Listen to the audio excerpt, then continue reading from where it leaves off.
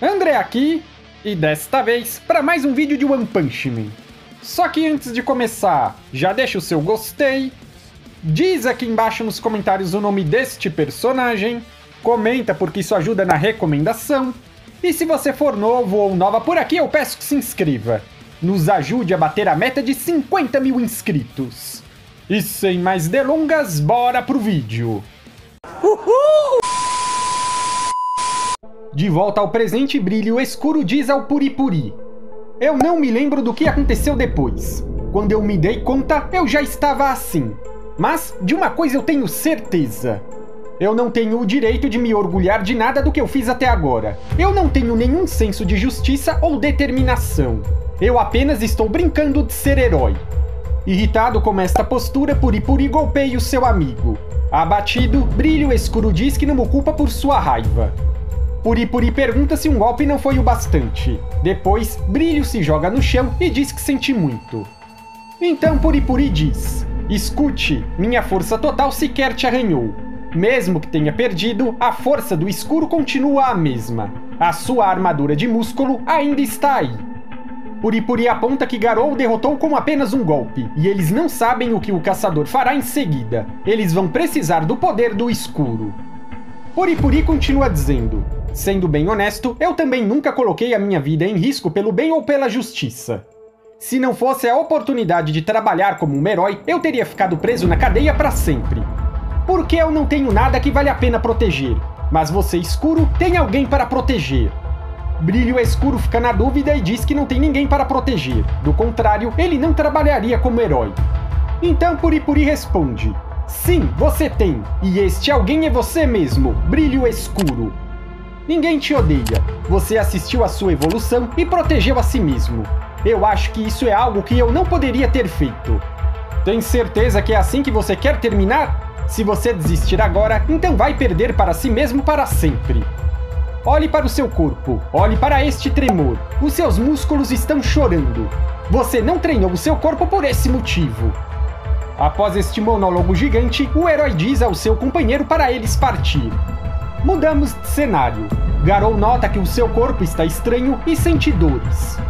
Depois de bater a cabeça, ele conclui que é apenas um humano. Porém, os heróis também são. Até mesmo os monstros parecem ser humanos feios e fracos para ele. O caçador de heróis se pergunta sobre o que ele está tentando fazer e afirma odiar injustiças e as pessoas que criam injustiças. Então ele se questiona: eu era um humano esse tempo todo? Então este é o meu fim? Eu queria morrer assim? Mudamos de cenário mais uma vez. Fubuki está cara a cara com Psychos.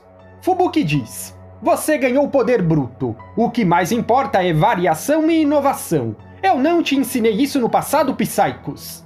A vilã está em choque e se pergunta se os seus poderes não alcançam o da sua oponente. Uma paranormal nunca jamais deve confiar unicamente em seu poder. Psychos está vulnerável e Fubuki está certa da vitória.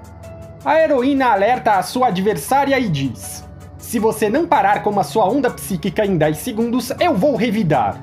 Psychos não se intimida e diz para Fubuki atacá-la, uma vez que ela se acha tão melhor. Em pensamentos, a classe B diz que sua inimiga mordeu a isca. A sua mente não vai conseguir manter este poder por muito tempo. Ela segue dizendo: Os seus poderes vão muito mais além dos meus.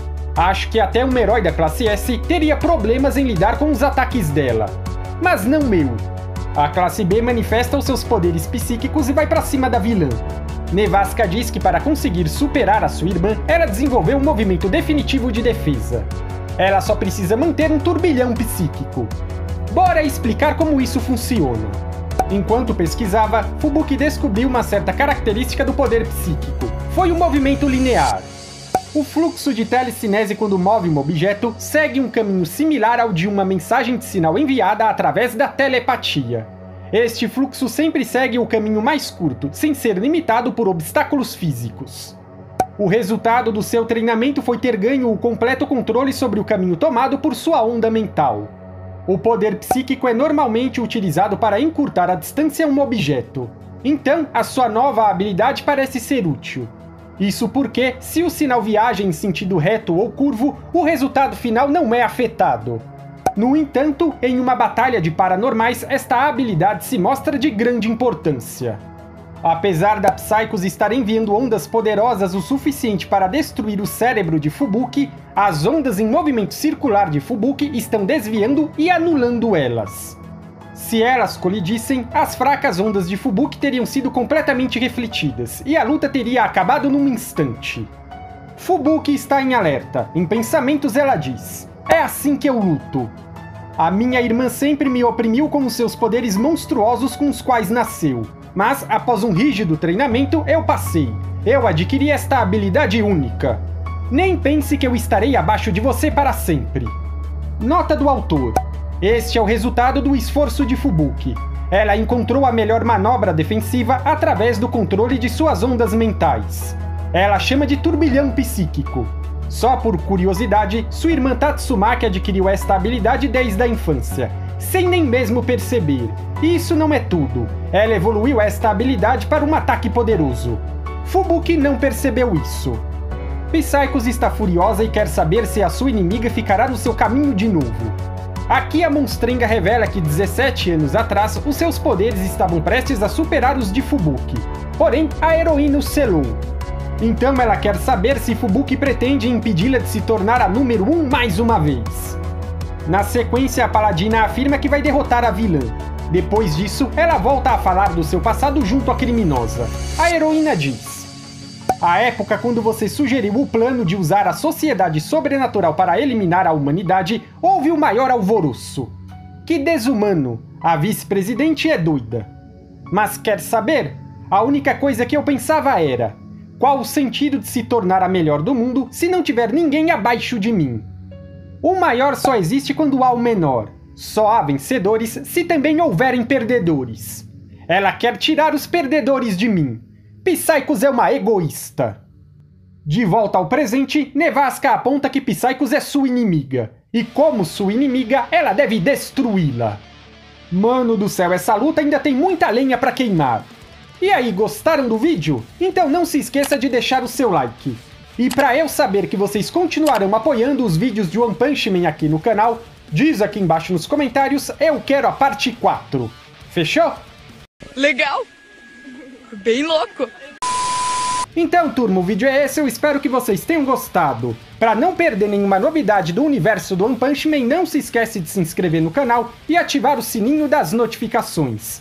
E para me dar aquela moral monstro para continuar produzindo conteúdos cada vez mais top como esse, confira o meu clube de membros. É só clicar no botão azul que está aqui embaixo, fechou? Aqui é o André e até a próxima!